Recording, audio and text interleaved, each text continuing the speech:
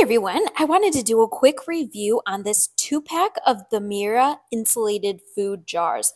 These are amazing thermoses. They are stainless steel vacuum containers and they hold 13.5 ounces.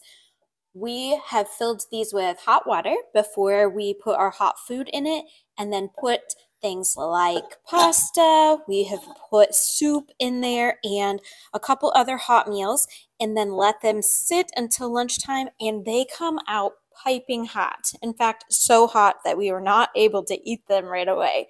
It kept them so warm. So these are amazing thermoses to keep your lunch warm. We also love how they look. This is the two pack with the denim and the green, and they're nice and bright you can see that it's a matte finish on them. And so they're not shiny. They have a super soft feel. And the lid is made of that same material. And they're just really nicely made. These work really well, and we have loved them as we are trying to take more of our own lunches and eat healthier meals.